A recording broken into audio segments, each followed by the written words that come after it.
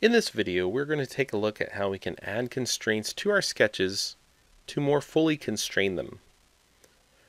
By this point, you know that we have automatic constraints that are created. For example, I can create a horizontal line and it will automatically apply a horizontal constraint. If I draw another line, it might, for example, create a perpendicular constraint here. If I draw yet another line, I might either get a vertical constraint or a parallel constraint if it's parallel to another feature as well. We can also add in our own constraints as we go. So back to the idea of horizontal or vertical, sometimes you might be drawing and you might accidentally draw a line not quite horizontal. Instead of deleting it, you can just come up to the constrain panel here where we have several different geometric constraints. So here on the left we have dimensional constraints. Right down the middle here we have the ability to change the visibility of our constraints. And then we have our geometric constraints. Here's my horizontal constraint. I can select a line and make it horizontal. You can also use this to line features up. So for example, let's say that I have two circles and their center points need to be horizontal to each other. I can select the horizontal and the two points and now they're locked onto each other. You can see as I move one, the other one goes with it. Similarly, I can create some vertical constraints. So I'll make a vertical constraint between the center point here and the center point here. And again, you can see the relationship exists between those two to keep them vertical to each other. Let's look closer at some of the other geometric constraints that are available to us. The first one here is coincident. A coincident happens when two points or objects are joined together. For example, when you are drawing lines and you continue drawing, a coincident constraint is made at its corner to keep those joined together. We can also make our own coincident constraints. Let's say for the sake of argument, these two points were supposed to form a corner. I can use my coincident tool to pick the point there and the end point there, and they're now joined together at a corner. Now if I try to move one, you can see the other one goes with it. Let's look at this another way. Let's say that I drew the line.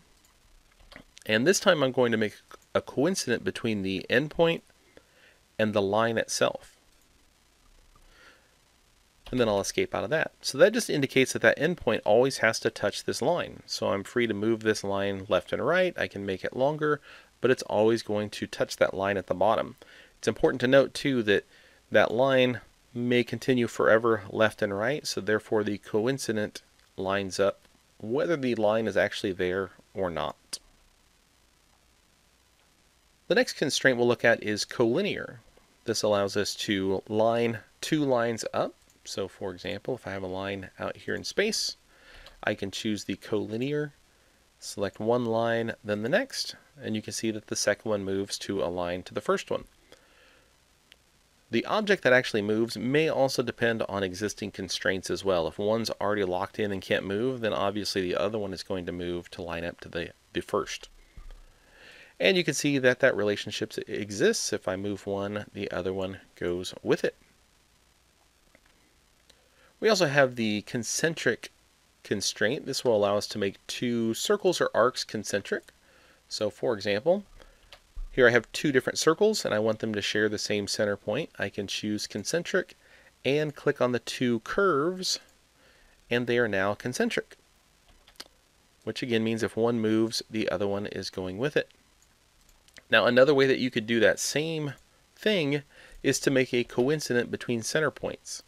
I can use coincident, pick two center points, and now I've created essentially a concentric constraint. So a couple of different ways to pull off the same thing. Next we have the fixed constraint, which is this padlock here. That allows me to fix something in space. So for example, I can click on this circle. You can see it changed to black. It is now fully constrained. It is not free to move in any way because I fixed it.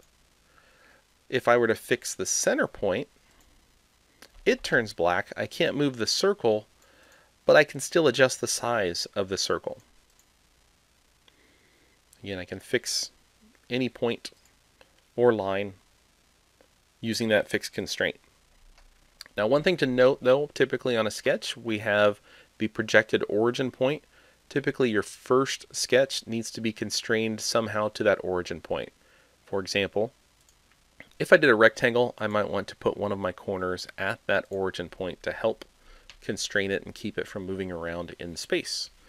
So while the fix tool will fix something in space, it's typically preferred that we somehow relate that to the origin or another feature. Let's look at the parallel constraint. If I already have one line at a specific angle and I want another one to meet, then we can create a parallel relationship between the two. As you can see, the first one matched the second, which is fine. We'll come back later with dimensional constraints to lock in the angle that we want. But regardless, you can see that the parallel relationship now exists between those two features. Similarly, we have a perpendicular constraint. So if I were to draw a line and make it coincident to this line, so remember coincident means it's touching, just not at any given point. And now I can come in and make a perpendicular constraint between the two. And now it's locked on. If this angle changes, you can see that line goes with it to maintain that perpendicular relationship. We already looked at horizontal and vertical. We also have the tangent constraint. So with the tangent constraint, you might get this automatically while you're drawing. So if I pick on a curved shape and then come over and snap to another curved shape, as I move it around, I can see my tangent constraint there. So I can go ahead and click. However, clearly there's not a tangency on this first object. So I can come back in with my tangent tool and select in either order the arc and the line, and it will create that tangent relationship. So as you can see, if I change the size of this circle, it continues to move and keep that tangent relationship. The next tool is the Smooth G2 curve. This is actually more for working with splines. So if I've been drawing some splines and I want to create essentially a tangency but with splines, I can use that particular tool. We also have our symmetric constraint. If you use the mirror tool, it will automatically apply symmetric constraints. But just to take a look at a quick example here, I might have a line and I might create some sort of shape on each side. Actually, I'll keep it simple and just do one line. Then I'll make another line over here. And then I'll choose my symmetric constraint. So the status bar down here tells me to select my first sketch element, so I'll do so. Then it tells me to select my second sketch element, so I'll select this one. Then finally it tells me to select a symmetry line, so I'll choose the line here in the middle. Now you can see that it created a symmetric relationship between the three objects. If I change one, then you can see it's going to adjust the other one. Now I did not make an equal between these, so therefore they're acting a little weird. But nonetheless, you can see that there is a relationship there between these two. So speaking of the equal, if I want these two lines to be the same length, I can use the equal constraint here. I'll select the two lines, and they are now equal in length. Their location might still be a little bit different, but you can see as I change the angle of one, the other one updates because of that symmetric constraint. Again, this is a little easier to pull off if you use the actual mirror command, because then it will mirror the geometry keep all the constraints, and it will automatically apply the symmetric constraints for you.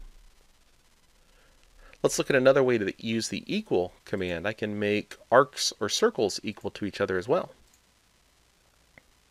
So I can even make this one equal to that one down there as well. In a lot of cases, you can substitute geometric constraints for dimension constraints. It just depends on how you see the sketch and how you decide to go ahead and constrain it. For example, if I have a rectangle and it needs to be a square, I could apply two dimensions to it. And that's one way to make a square. The problem there is if I decide that I want this square to be 4 inches by 4 inches instead, I actually have two dimensions here to update unless I created some sort of formula between the two. If instead I create a rectangle and then I make two sides equal, the top and the right side, then it only requires one dimension. And that one dimension will drive the entire size of the box. So this is where we get into a concept called design intent. Is the intent for the two sides to always be the same? If so, it makes more sense to make a relationship in a formula or using the equal constraint. That way it always stays a square. Let's look at a couple more tools dealing with constraints here. In the constraint panel, you can see this tool here for show constraints. If I select that tool and pick on an object, it will display all of that object's constraints. So I can see this particular line has coincidence on the endpoints. It has a parallel relationship to the line below. You can see it highlight as I hover over it. You can see it has a horizontal constraint, and you can see it has a perpendicular constraint as well. If I were to click on a circle, I can see that fixed constraint from earlier, and I can see the tangency. If I want to get rid of a constraint, I can use these symbols to do so. I can escape out of the Show Constraints tool. I can click on this padlock to select it. Then I can right click and delete it. As you can see, it's no longer fixed in space, and I'm now allowed to move it at least left and right. It still has some other constraints that are controlling it from completely going out of its original orientation.